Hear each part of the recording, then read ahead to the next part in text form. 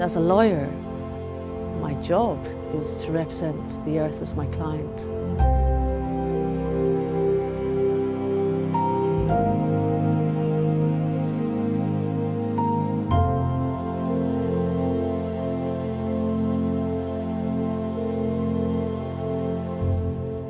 My purpose is to change the laws so that we have a bridge to the new world.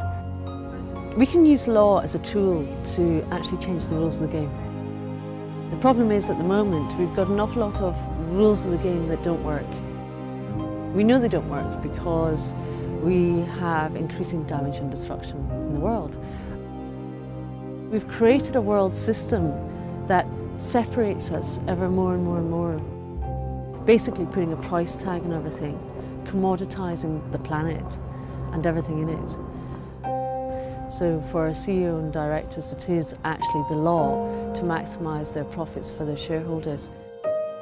That creates an enormous disconnect.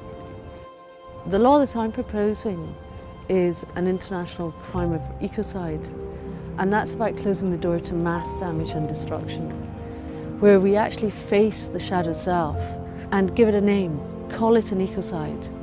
And when we do that, then the healing truly can begin. So this is about using law, bringing law back to reinstate the sacred trust of civilization.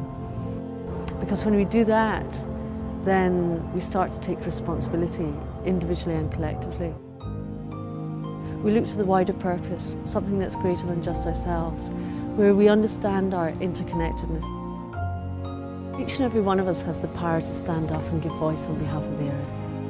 When we do that from a position of love, we inspire others to do the same. What starts out as a whisper becomes a song, a love song for the people on the planet.